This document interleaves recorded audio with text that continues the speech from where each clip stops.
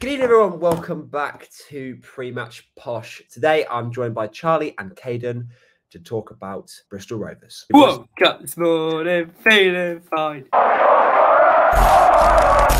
After the Mansfield defeat on Tuesday night, Darren Ferguson came out and publicly slated our players for bottling yet another lead. Do you think what was said was needed or a step too far? I think it was needed after all those games of defending them. You know, after you know, since that Northampton game has pretty much gone downhill with only one win and, and two draws. But um, yeah, I mean, it, it was needed, and hopefully that makes the players know that they can't go bowling games like that and get away with it. I'm very much in the other camp. I don't agree with it at all. I, I can't get behind it. I think while it's something that needed to be said to the players, something that needed to be said, Darren Ferguson should have just come out and said it was poor the way we bottled the game.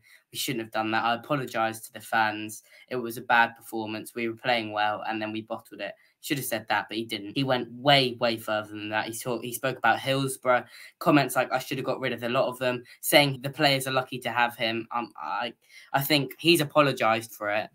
Um, so I don't hold it against him, but I, I, have to I completely disagree with it with the whole thing, and it completely also goes up against uh, goes against the messaging that Darragh and Fergie have put out so far, which is keep calm, it's a young squad. They'll make mistakes. They'll have collapses, but we stick with them. Do you think that you know to a level we haven't been good enough? We've we we worked out we've dropped eight points from winning positions this season out to a possible twenty-seven.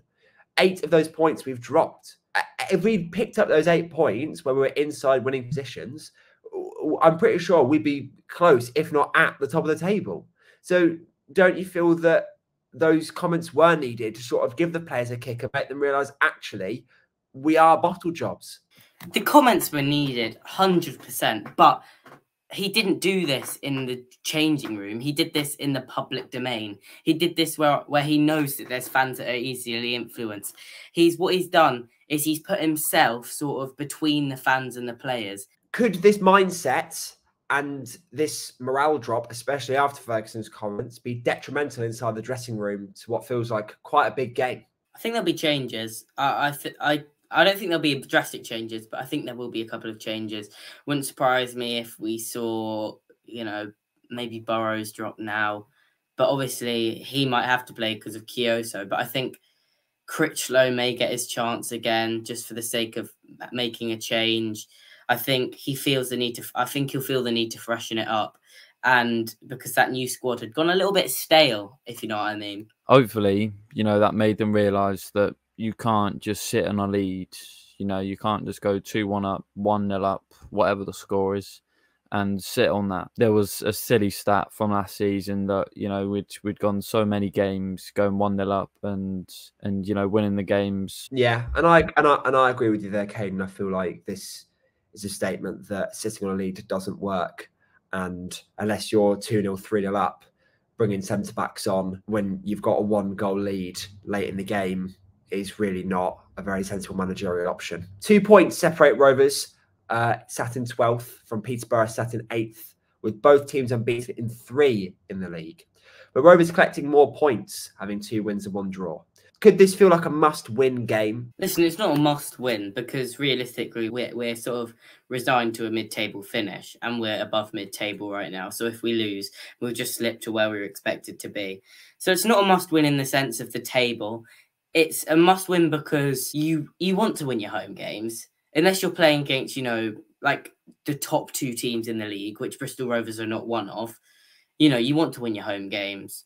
You want to after a disappointing loss in the week, bounce back. So it is it is a must win in that sense, but in the sense of the table, the points picked up, it's not a must win per se. Last season, we had a good home form. You know, we have done since the 1920 season pretty much, maybe bar the championship. And I'd like to keep that. I, I, would like to keep that um good home form, you know. Let's hope we get a win and we start a good run of games, you know, unbeaten at home. Jonson Clarke Harris almost left uh, our club in the transfer window. Uh, he almost went to Bristol Rovers, which is the team we are playing on Saturday at home.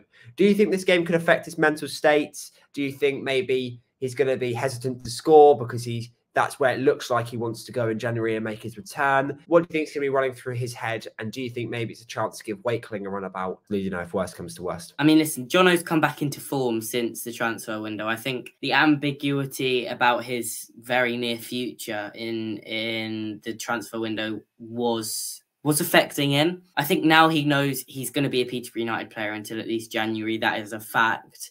I think he'd settled him down and he's just getting his head down and working. He'll have no problem scoring against Bristol Rovers. He will actually, I think, want to score against them to make sure that they do come and pay the money again in January. You know, they they signed a striker uh, yesterday, Chris Martin, a free agent from that was at QPR last season. You know, he will be thinking, okay, am I still going to get this move there? Because that was his preferred destination. I would like to see Wakeling maybe given a go, but in Ricky's position on the wing, I would be up for giving him a chance, a bit more of a chance than he's currently getting than just off the bench. Peter Kioso seems to have a suspension, five yellow cards, one match ban. Do we think this could be awful considering we've just given him captaincy and now he's gone? How do you think that's going to affect our general gameplay? Well, we don't really have any replacements at right back apart from maybe Josh Knight, who isn't exactly a right back. So it'll be most likely him playing there on Saturday. And I would definitely be against that because he's not an actual right back. Our player of the season, in my opinion, Peter Kioso, is out for probably a quite a big game um, that we should really be hunting for a win in. Um, I think it's going to be absolutely awful. I feel like although we really do need to win this game, I really, I, th- I think we'll really struggle. I will ask you all for your predictions and your goal scorers. If there's no goal scorers, Peterborough United's first yellow card. I will go for a two on Posh. Um, I'll go Clarke Harris first goal scorer against his former team, the team he did nearly join um, just before the end of the window. And yeah, it'll be great to see him score against Bristol Rovers. Not that he has any hate against them because he you could still join them in January. Yeah, listen, I think we're going to struggle. I mean, you mentioned Max that our right back spot is going to be weak. We're going to be exploited. It's going to be a bit of a bitty game. I think. I think it's going to be one all. I think we're going to score first with Jono, and then they're going to equalise about sixty minutes, and it's going to fizzle out. And yeah, I think it's going to be another disappointing one at home. Well, I'll be negative as I usually am uh, a 2 0 posh loss with Hector Kyprianou being our first yellow card. I just can't see us scoring. We're without our captain, we're without our right back. Meaning that our right back and left back position are now open, which is exactly where the likes of Aaron Collins is going to try and exploit. Thank you so much for watching Pretty much Posh at the Pash. After the Mansfield defeat on Tuesday night, Darren Ferguson came out and publicly slated our players on pre-match posh, pre-match posh, pre-match posh. Do we think slated our players on pre-match, pre-match posh?